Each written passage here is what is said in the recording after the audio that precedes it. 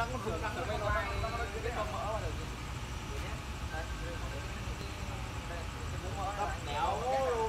má bố kia cái cái đá cái tiền tốt tầm hai mà làm nhiều Modem uh, 58 kW cầu dầu phanh đĩa có turbo. Bàn giao cho nhà máy mủ cao su bao gồm cầu xúc bộ gắp và bộ càng lưng cơ cấu ờ, thả lắp nhanh. 3 trong 1 hiện tại bây giờ đang là 23 giờ 30 phút.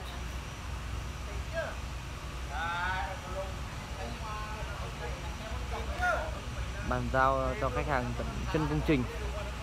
Tại.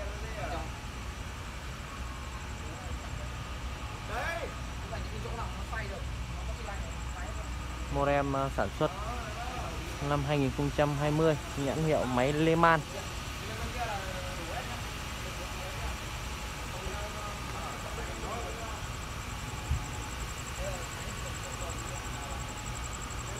lái xe từ Bắc vào Nam để bàn giao máy móc cho nhà máy mủ cao su.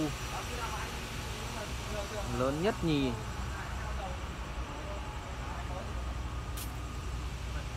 Của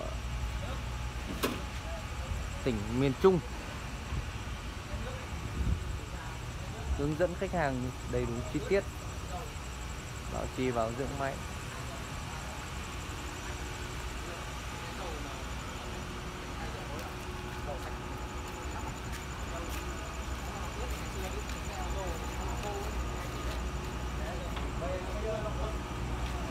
Tôi mua cái mũ cao su này làm gì chú?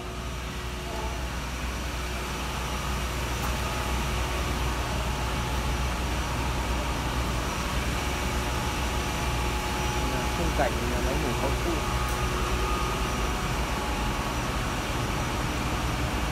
với hàng có ờ, nhu cầu xin liên hệ theo số điện thoại 0981 345 595 Thanh Trần, Lê Man xin được phục vụ khách hàng.